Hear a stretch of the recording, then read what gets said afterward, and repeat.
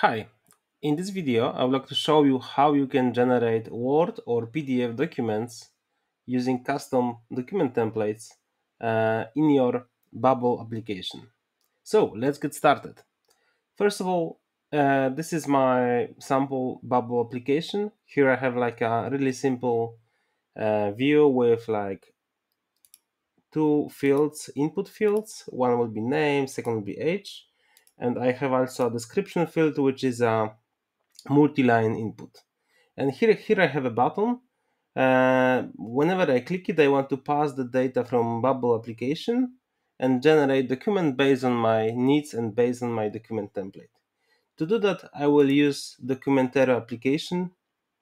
Uh, this is a separate app. Already created account here. So here in this app, you can create a document templates that then you can use them to generate documents on the Bubble platform. So let's try it. So first of all, I will create a simple template on this platform. Um, I have a sample document here. Just to keep it simple, I will delete most of the data. I will just leave these two fields here in the curly brackets. And I will add one more of description. Uh, I will style it as a heading element. Okay, and here we go. So I have like a free fields in this document template and I can just save it on the platform.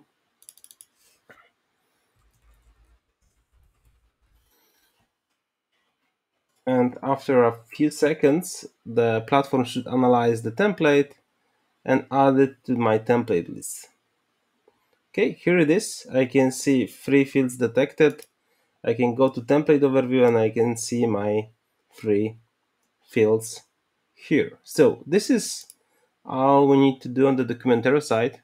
So here I will go back to Bubble.io uh, build UI builder and I will go to plugins and I will add Documentero plugin. So let me search for it. Here we have a plugin. I just install it. Uh, and here, as you can see, we need to provide API key. So to do that, I need to go to my account and here I can copy my API key to the configuration of the plugin.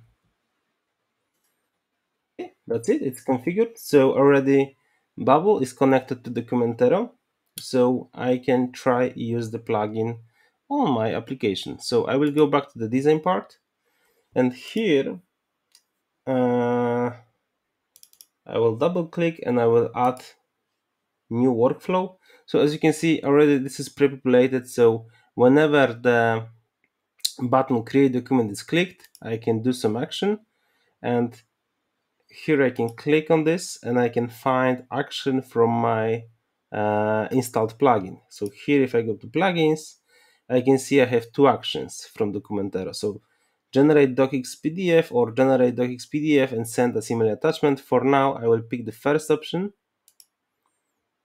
Okay, cool. And I can see the configuration panel here. So uh, I need to provide output format, docx or PDF. I will select PDF. I need to provide template ID and the JSON data I would like to pass to my document. So to do that, we will go back to Documentero platform. I will go back to my template and I will go to generate from API. And here in this section, I can see all the data that I need. So here I can see my document identifier. I will copy this. Here, okay. And also I can see a preview of the data that uh, ex expects to be filled in to generate document properly. Okay. Okay, here we go. So this is a data that will be passed and used to generate document. And obviously I would like to have some dynamic data uh, from my application to appear in this document. So here I will replace these parts with input name value and just to be on the safe side I will always add this formatted as JSON safe format so so here we, we just mapped like a first field. I will I will select another one. Click insert dynamic data. And also I will replace this with input age value. And I will do the same for the third field. This is multi-line input. Okay I will get the value and again format it as JSON safe format okay so I just mapped like all three fields from my input boxes to the JSON data that this action requires me to provide when I want to generate uh, generate this document on the template that I just created in Documentero. So, okay, assuming that we fill in everything properly, uh, I will add one more action after it. And this will be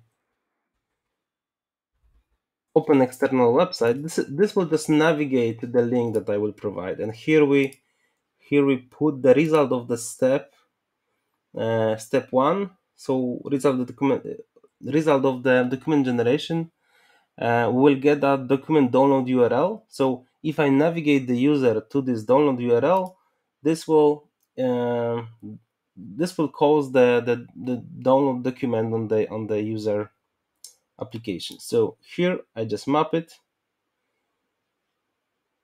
And we have a flow. So uh, whenever the button create document is clicked, uh, there is an action from the plugin. Uh, we map all the data, and then when the document is generated and the URL is generated, we are navigating to this URL to download the document on the application. So uh, let's give it a try and let's see if it's doing what it's supposed to do. Okay, I can see preview of my application. I will put some sample data, John 35, and here I will put some sentence.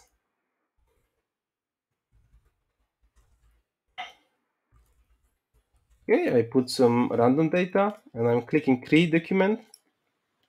And what is happening right now, my action is um, being performed and Documentero is creating a document and after a few seconds